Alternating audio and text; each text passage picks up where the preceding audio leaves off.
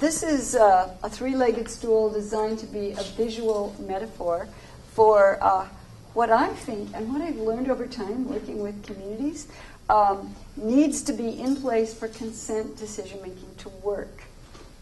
So, one thing that is needed for it to work, uh, that everybody understands objections. They understand that they're reasoned, argued objections. Reasoned, it's clear and logical. Argued, we like mathematical argument. We derive from facts that we all can agree on uh, what the logical conclusions of that are, and we can understand what the person is saying in their objection. So we understand objections, we know what they are and are not. We have clear aims for our circle, aim or aims. It's very clear what our ongoing objectives are so that when we are doing the good reasons to object, it's very clear in what parameters we're doing this.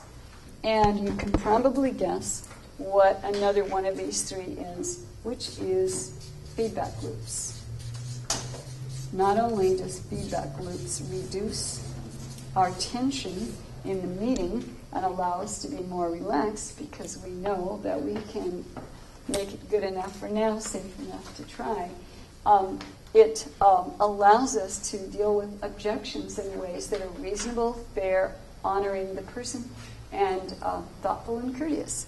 So we understand what objections are. We know we can use changing this wording or adding to it to modify them, and we do it within the framework of aims.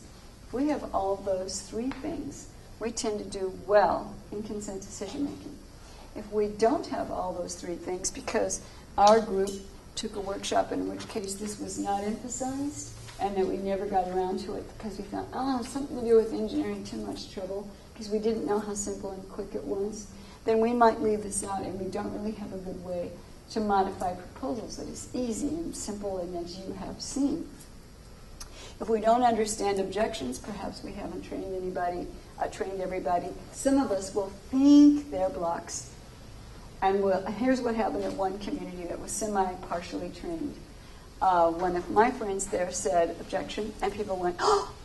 And they were upset with him for being a bad community member. And he realized they needed more training. By the way, they're going to get it. Okay, and we need to be clear, not just aims that are vague, but you know, kind of helpfully clear to us. Any questions about the famous three-legged stool? Does this make sense?